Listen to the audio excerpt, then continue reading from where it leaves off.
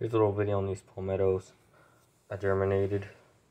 Uh, these were mainly picked off the ground from Amelia Island a little less than a month ago, but going crazy. There's a bunch of sprouts, but so when you can't pick up palmetto seeds off the ground, they still will germinate.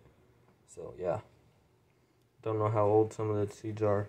Some could be from last season, and some could be from recent uh, days, but we'll see how these do.